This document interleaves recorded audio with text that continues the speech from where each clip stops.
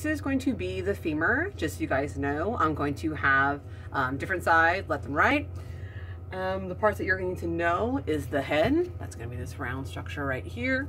I have um, a budget-friendly bone and a less budget-friendly bone, just so you guys can tell the difference. So the head's right here, head's right here.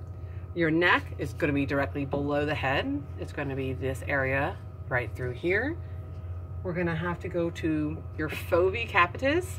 It's kind of like phobia. It's actually quite hard to say. It's going to be this little depression right through here. This is where ligament attaches. On our other bone, you're going to notice it right through here.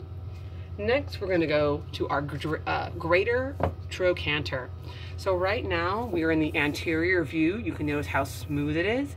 We're going to go to the posterior view to see it. So this is the posterior view. Your greater trochanter is going to be this large growth right here. And then on the other model, it's going to be this large growth right, growth right here. Then we have our lesser trochanter.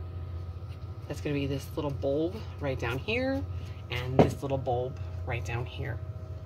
Next, we're going to have our gluteal tuberosity. So some of you in class may have thought this little tiny divot is going to be, or this little pronounced bit, but it's actually going to be this large area here. So a quarter of the gluteal um, muscle actually attaches, so it's going to include this whole area.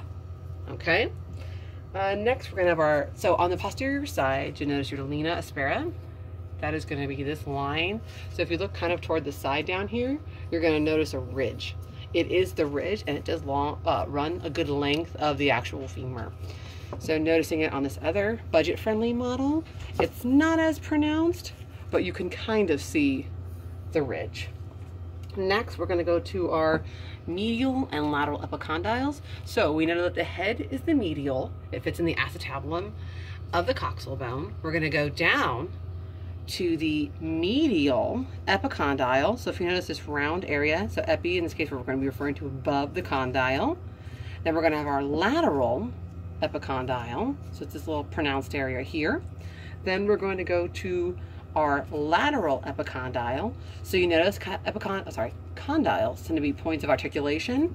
So this is where you're going to articulate with the um, with the tibia. So lateral, medial. We know it's medial because we're under the head. And that's it.